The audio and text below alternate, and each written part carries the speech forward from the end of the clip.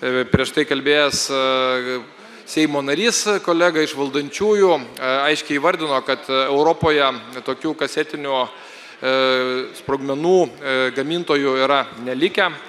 Taip pat yra akivaizdu, kad mes turime Ženevos konvenciją ir šio pobūdžio priemonės yra pavojingos labai civiliams, dėl to Ženevos konvencija ir buvo priimta, kuri draudžia kasetinių sprogmenų naudojimą. Ir akivaizdu, kad karo Ukrainoje laukia mes matom karinių ekspertų pasisakymus, kad jokio, sakykime, nei lūžio, nei pranašumo kasetinių šaudmenų naudojimo prasme tame kare nei Ukrainos pusiai, nei Rusijos pusiai tas nesuteikia.